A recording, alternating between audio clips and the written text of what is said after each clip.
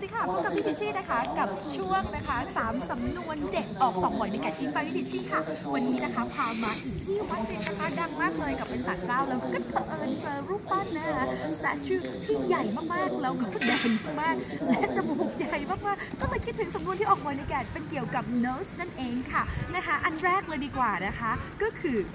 อ่า put your nose out of my business นะคะ put your nose out of my business คือเอาจมูกแกออกไปจากเรื่องของฉันนะ หรือว่าง่ายๆคืออย่ามายุ่งกับฉันนะอย่าเผืออะไรเงี้ยนะคะ อันที่สองนะคะเกิดอันแรก nose ไปแล้วอย่ายุ่งกับฉันสองนะคะคือ nose stuck in the book nose in the book หรือ nose stuck in the book นะคะ คนที่จมูกติดกับหนังสือก็คือเป็นพวก